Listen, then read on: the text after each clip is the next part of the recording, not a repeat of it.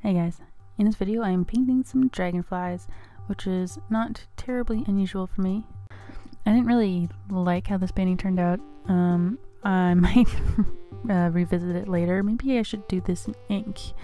That would be kind of interesting. But I decided to take a few minutes to talk about art that changed your life.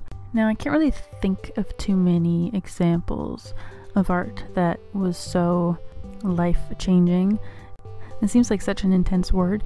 I mean, I guess like you could say maybe anime was life changing because maybe that's what really ramped up the drawing habit for me or you know maybe maybe contemporary art itself was life changing because it made me more confident to think that hey maybe my art can hang in a gallery even though it's not hyper realistic if you could really call those things life changing. Like maybe that's a bit dramatic. this is going to sound kind of dumb because a lot of people have strong opinions about this book, but in high school I had to read um, Sophie's World by Jostein Gaarder. It starts out kind of dry and then it kind of turns into a fictional tale surrounding a philosophy of life. A lot of people don't really like this book because it's too, I don't know, uh, childish, I guess. So, what happens in the second chapter is that it does talk a little bit about how people lose their sense of wonder as they get older. And it's this little anecdote uh, two parents and a toddler are eating breakfast in the kitchen, and dad decides to start flying in midair.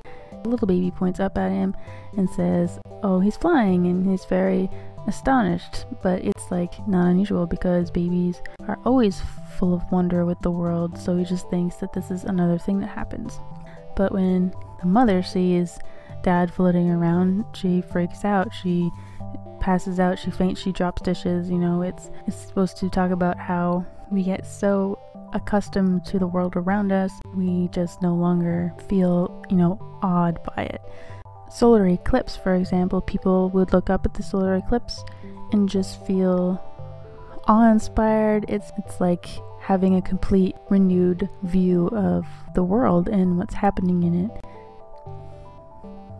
And I think that's really why I like that chapter in this book. And it made me kind of question, you know, what are the odds, you know, that this flower grew in this way, that these bugs are this shape. And yeah, and it it really renewed my sense of wonder. It, it felt very much like when you see a really great piece of art and it inspires you, but then when you look at it more frequently, it doesn't inspire you anymore.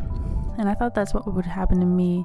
You know, it's been at least 15 years, so I'm still pretty awe inspired by dragonflies and butterflies and cats and trees and plant and weather and sky and all sorts of stuff. And I think that's a lot of reason why I paint these things. And I don't know if I would be painting them if I didn't have this renewed sense of wonder.